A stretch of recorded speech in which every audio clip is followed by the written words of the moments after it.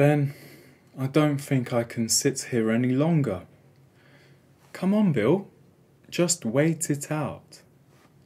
We'll be back home soon, where there's a cozy fire and plenty of food waiting for us. We'll see Mum and Dad again soon. But we've been here for almost two days. I'm sure someone will find us soon. They must be looking for us. We'll get out of here.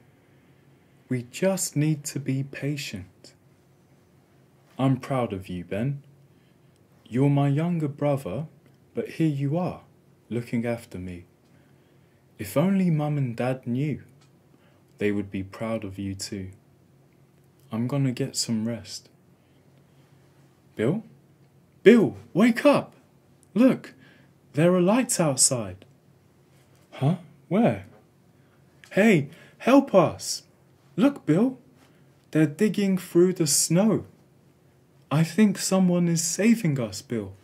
Wake up!